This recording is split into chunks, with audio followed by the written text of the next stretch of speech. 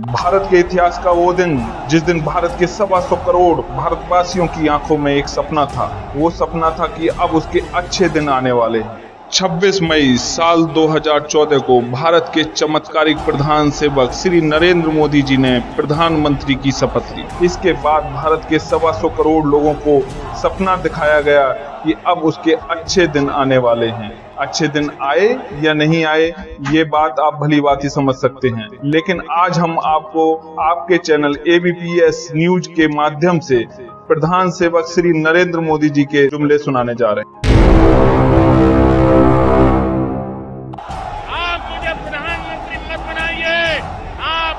चौकीदार बनाइए, चौकीदार।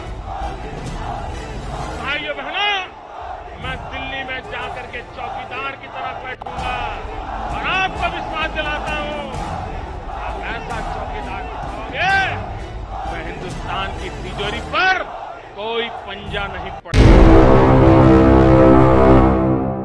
भाइयों बहनों, मुझे बताइए, ये हमारी चोरी किया हुआ पैसा वापस आना चाहिए कि नहीं आना चाहिए? ये काला धन वापस आना चाहिए। ये चोर लुटेरों से एक एक रुपया वापस लेना चाहिए। इस रुपयों पर जनता का अधिकार है कि नहीं है? ये रुपया जनता के काम आना चाहिए। अरे एक बार।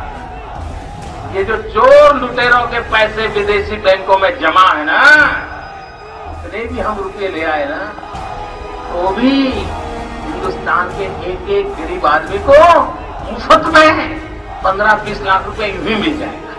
इतने पाकिस्तान को उसी की भाषा में जवाब देना चाहिए कि लव लेटर लिखना बंद करना चाहिए। देश के जवान मारे जा रहे हैं। और मैं तो देख रहा हूँ, पाकिस्तान हिंदुस्तान के जवानों के सर काट रहा है, ऐसा दुर्दैव कभी देखा नहीं।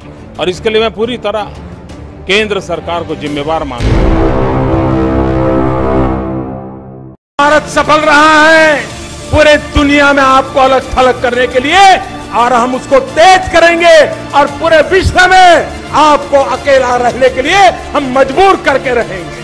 वो दिन दूर नहीं होगा जब पाकिस्तान की आवाम पाकिस्तान के हुक्मरानों के खिलाफ, आतंकवाद के खिलाफ लड़ाई लड़ने के लिए मैदान में आएगी।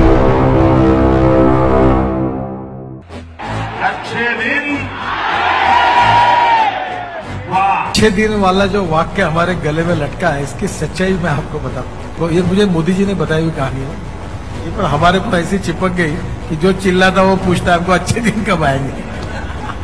तो ये हमारे गले में लटकी हुई हड्डी है।